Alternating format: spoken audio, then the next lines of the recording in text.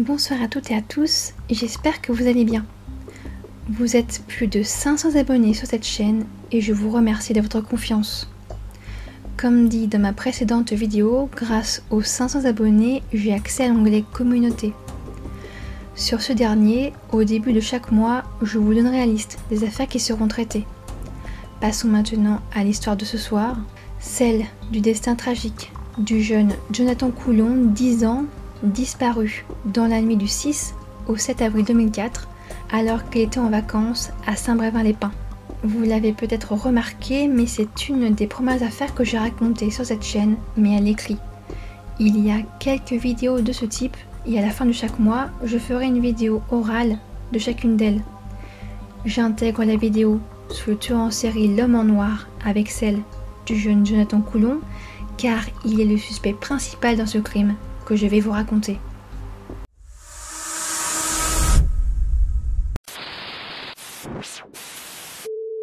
La disparition de Jonathan Coulon. Jonathan Coulon est un petit garçon âgé de 10 ans. Il est en classe de CM1.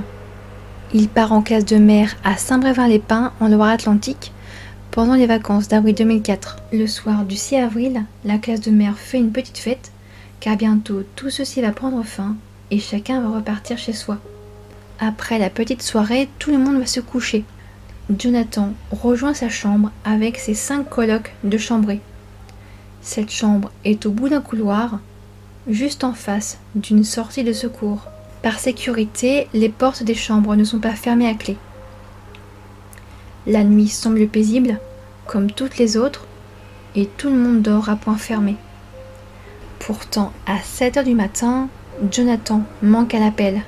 Tous les éducateurs et ses camarades le recherchent. Ils fouillent tout le centre, mais rien. Ils appellent la famille de Jonathan qui habite à Roval dans le Cher. Après cinq heures de route, les parents de Jonathan arrivent au centre de vacances. Ils se rendent compte de la gravité de la situation en voyant tous les gendarmes présents pour le retrouver. Des affiches circulent dans tout le village. Plus de 200 gendarmes sont à sa recherche. Ils font le tour du centre et découvre qu'une partie du grillage qui l'entoure est affaissée, et que du coup, tout le monde peut passer comme il veut. Et aussi que la porte donnant accès aux chambres a été retrouvée grande ouverte vers 3-4 heures du matin par un témoin. Dans la chambre, on va découvrir que Jonathan serait parti pieds nus, simplement en pyjama, car toutes ses affaires sont encore là.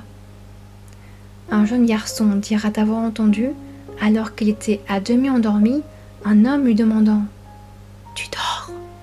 La théorie première que Jonathan est simplement parti se balader en pleine nuit et se serait perdu vient de s'envoler.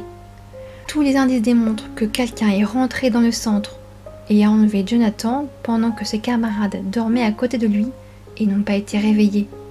Cela peut laisser penser que la personne qui l'a enlevé n'en est pas à son premier coup, qu'il est habitué les recherches s'intensifient, mais aucune trace du petit garçon nulle part, jusqu'à la mi-mai.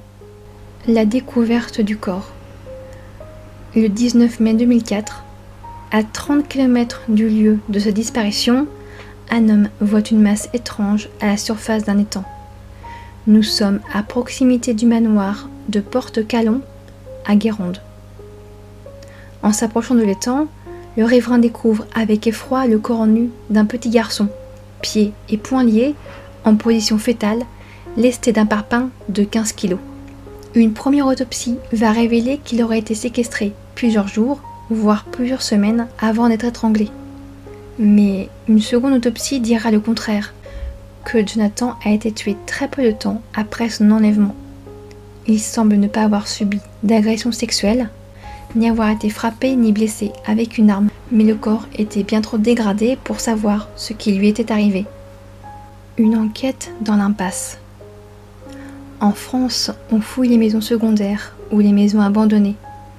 Pour les gendarmes, l'enfant n'a pas pu être séquestré par une personne de passage. C'est forcément un habitant du coin. Pourtant, dès l'annonce de sa disparition, à 1200 km de Saint-Brévin-les-Pins, des enquêteurs ne sont pas de cet avis. Dès la fin du mois d'avril 2004, la police allemande contacte les services français et se rend sur place. Eux pensent à un homme qui s'en prend à de jeunes garçons dans des centres de vacances. Le mode opératoire est le même qu'en Allemagne, de l'enlèvement au rituel de mise à mort. L'homme en noir, ou l'homme masqué comme il est appelé, sévit en Allemagne depuis les années 1989. En 1992, il est l'homme le plus recherché du pays. De 1989 à 2001, il agresse une quarantaine d'enfants, et ce ne sont que les chiffres officiels, dans des centres de vacances, exclusivement dans le nord de l'Allemagne, et aussi parfois dans des maisons. Il tuera trois garçons, Stéphaniard 13 ans qui disparaît de son internat à Chessel en mars 1992. Son corps est retrouvé à Verdun à 30 km de là le 3 mai. Le 24 juillet 1995, c'est Denise Rostel, 8 ans, qui disparaît dans la nuit du centre de vacances à Selkirch Nord en Allemagne. Son corps est retrouvé à 280 km de là, à Winderup au Danemark, deux semaines plus tard. Et le 5 septembre 2001, Denise Klein, 9 ans, disparaît de son pensionnat à Bremenhaven et son corps est retrouvé non loin d'une forêt près de Kirchtimk à 58 km, deux semaines plus tard. Tous les trois enlevés, étranglés, retrouvés les mains liées et les corps enterrés assez loin du lieu de leur disparition. Les experts allemands pensent que l'homme a enlevé, séquestré puis tué Jonathan Coulon. Un témoin, un agriculteur du coin, dira même avoir vu une voiture immatriculée en Allemagne au bord d'un étang à Guérande, donc pas celui où l'on a retrouvé son corps, et qu'il aurait vu un homme seul et assez grand. Les gendarmes français prennent en compte l'avis de la police allemande, mais restent malgré tout sur leur ligne directrice. Le tueur est du coin. Il connaît le centre et ses défauts. Il a trouvé l'étang qui se situe derrière le manoir bien caché et ils continuent leur investigation en ce sens. Après des années sans trouver le coupable, on s'intéresse de nouveau à la piste d'un tueur itinérant allemand en 2009. Les Français font donc des recherches avec l'Allemagne. Il y aura 2000 relevés d'empreintes digitales, 1500 prélèvements ADN qui seront comparés à une petite tache de sang retrouvée dans la chambre de Jonathan Coulon, mais qui s'avérera être en fait une tache de sang d'un autre enfant. Il y aura aussi 500 auditions de témoins, tout y passe, mais rien du tout. Et l'Allemagne n'a pas encore mis la main sur ce tueur en série. Qui est l'homme en noir? Le 15 avril 2011, l'Allemagne tout entière découvre le nom et le visage du tueur. Il s'appelle Martin Day, il a 40 ans. C'est un ancien militaire, ancien chauffeur routier, devenu éducateur pour enfants. Il avoue 40 agressions et les trois meurtres de Denise Rostel, Denise Klein et Stéphaniard. Pour ces crimes, il est condamné le 27 février 2012 à la prison à perpétuité. En Allemagne, c'est entre 25 et 26 ans. Et c'est à un expert psychiatre de déterminer s'il est encore un danger et donc s'il peut sortir. Mais il nie totalement son implication dans le meurtre de Jonathan Coulon en France. Pourtant, l'avocat de la famille de Jonathan Coulon note qu'il y a des similitudes troublantes entre les meurtres avoués par Martinet et celui de Jonathan. Lors de ses aveux, Martinet raconte qu'il a un temps de repérage dans son mode opératoire et qu'il choisissait ses victimes à l'avance. De petits garçons, prépubère autour de 10 ans et blond. Jonathan correspond à cette description. Mais Martinet persiste et signe. Il n'a rien à voir avec sa mort. Mais des propos faits en prison vont remettre en doute sa culpabilité. En 2017, il se livre à un de ses co-détenus. Il aurait commis un viol et un meurtre en France en 2004. Martin Ney pense à se faire prendre car en France il aurait oublié un sac en cuir qu'il a tout le temps avec lui quand il part en colonie. Dans ce sac, il y aurait des papiers lui appartenant et aussi qu'il en est sûr, il y avait un témoin ce jour-là. Un homme accompagné de son chien. L'agriculteur, qui aurait vu un homme au bord d'un étang avec une plaque allemande, était avec son chien. Le sac qu'il aurait perdu est recherché, mais actuellement, il n'a pas encore été retrouvé. Martin Ney ne comprend pas pourquoi son co-détenu, avec qui il s'entend bien, raconte ces histoires, ce mensonge selon lui.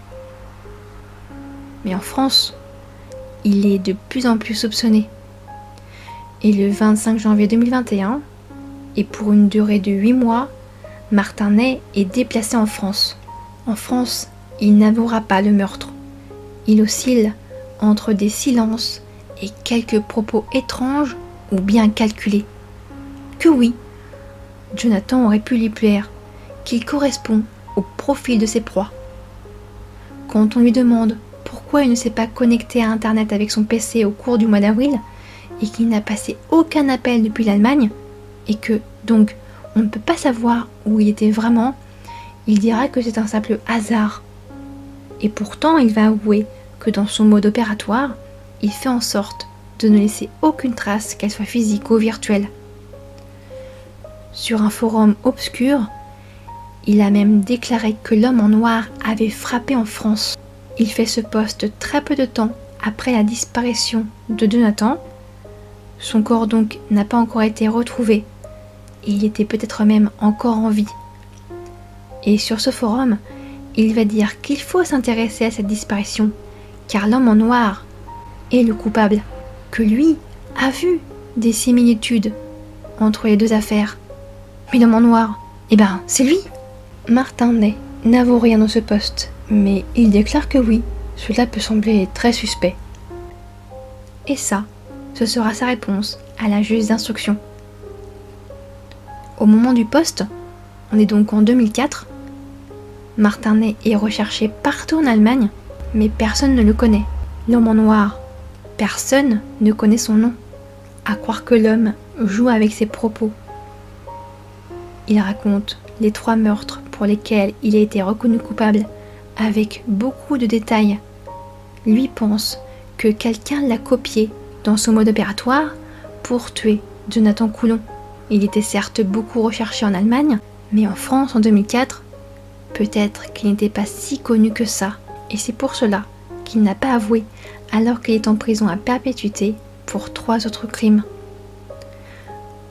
On le soupçonne d'être l'auteur d'un crime aux Pays-Bas, celui de Nicky Verstappen en 98.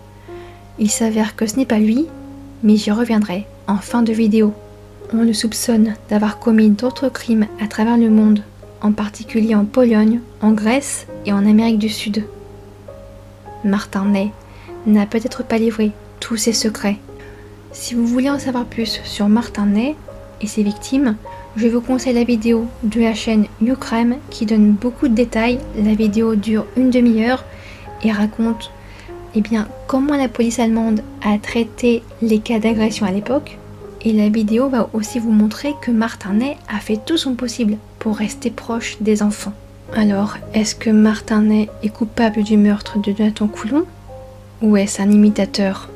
Petit point sur la disparition de Nicky Verstappen, 11 ans.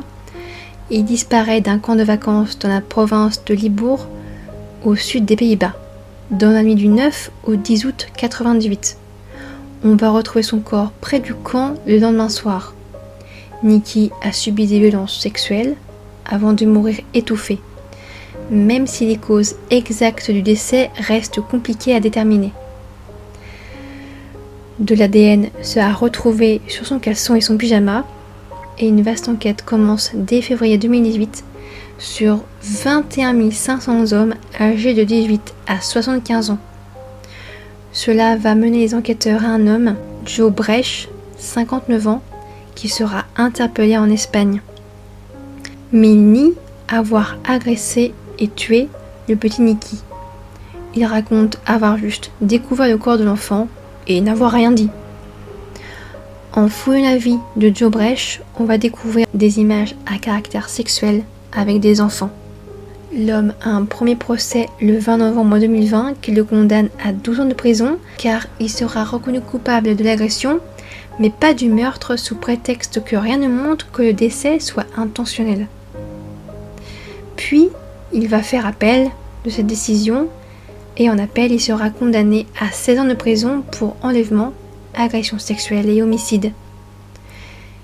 Ses avocats prévoient un pourvoi en cassation depuis janvier 2022, mais je ne sais pas si ça a été fait. J'espère que cette vidéo vous a plu et je vous remercie de l'avoir regardée jusqu'au bout. N'oubliez pas de mettre un petit j'aime si c'est le cas et de mettre en commentaire votre avis sur cette affaire qui est pour le moment encore non résolue. Je vous donne rendez-vous ce week-end pour une nouvelle vidéo Actualité, crime et disparition. Et d'ici là, n'oubliez pas,